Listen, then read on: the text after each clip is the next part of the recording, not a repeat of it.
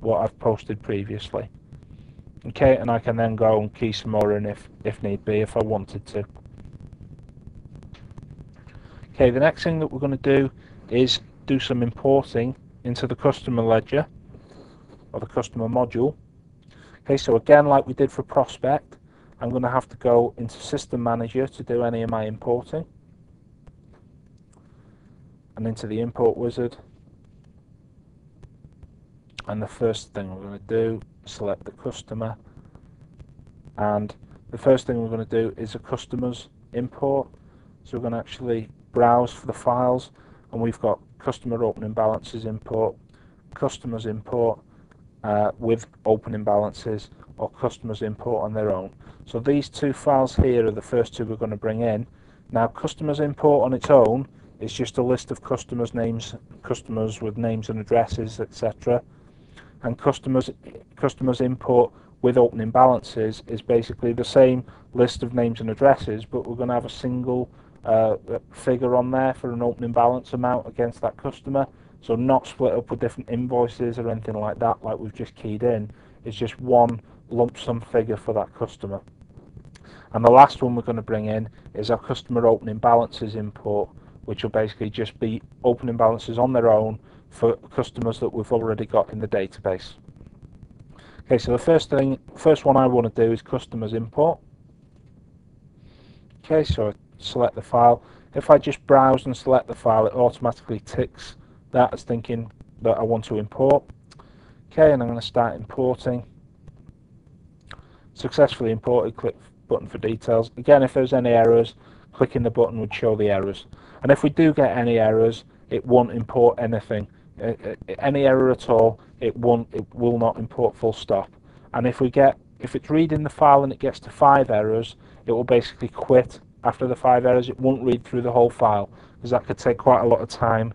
And uh, if chance out there's five errors, you'll be able to work out from them five that that error will also occur on a lot of the other rows. So that's that's why we do that. Okay, so that was successful, which is good.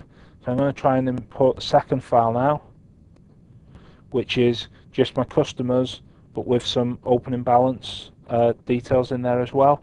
So again, I'm using the customers one, the second one, not not the opening balance one for this one.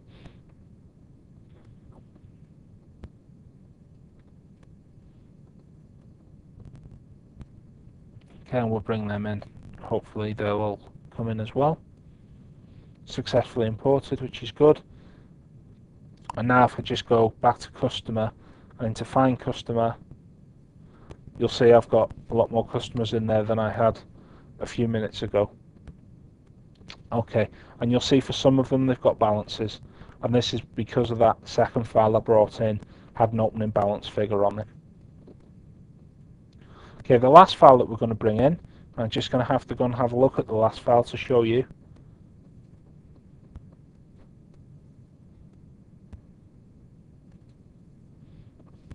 just open that up so that we can see what we've got in here. Now this last file is just basically going to be opening balances on their own and we're going to import these opening balances for customers that are already within the database. So what we're going to do is two of these transactions are going to be for our French customer and two are going to be for our US customer and then both them customers are ones that I manually created just earlier on Okay, so what I need to do in here to be able to get this to import is amend the customer codes to be actual valid customer codes in the database. So what I'm going to do now is leave that open and go back into my database. And when I'm in the Find Customer screen, if I have a look for my French customer, I can see that the customer code is cust-4015 so that's the customer code I need for that one.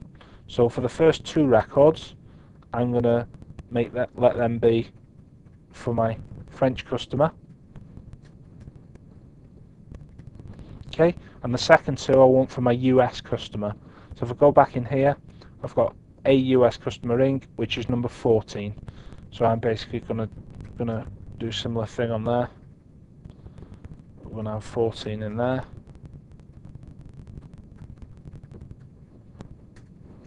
Okay, so now that I've got filled them in, then it should be happy to import that file. So I'm just going to save my file and quit it. Always important to quit the file after you've saved it, just in case it might lock the file sometimes otherwise. And I'm going to go back into my import wizard and hopefully try and import that file. So if I go to customer and then customer opening balances this time because there's no customer details in there, it's purely transactions and a browse for my file and customer opening balances import.